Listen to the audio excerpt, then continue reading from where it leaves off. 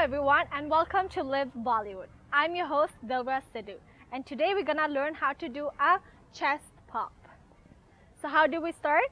We begin with uh, putting our legs in second position.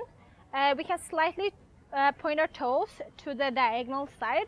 So straight to diagonal side uh, just because the steps looks more unique and better from a side view. Uh, so we're standing on a diagonal side and we put our hands on our hips. We're gonna try to um, stretch our chest out so our shoulder moves back and the chest moves out. So shoulders back as much as possible and then bring your shoulders in and your elbows move front too. So they move inwards and then we hide them in the back and then all the way in the front.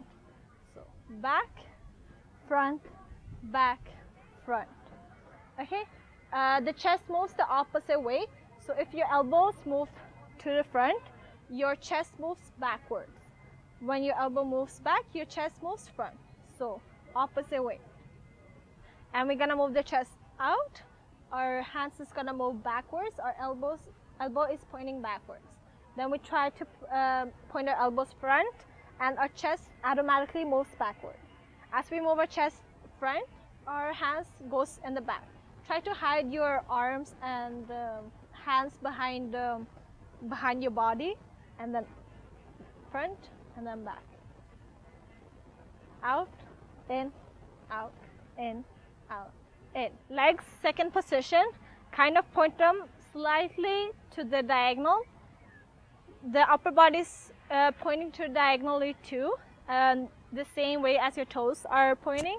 Hands on the hips. And we're gonna move our chest out, our shoulder moves back, and our uh, elbows point backwards.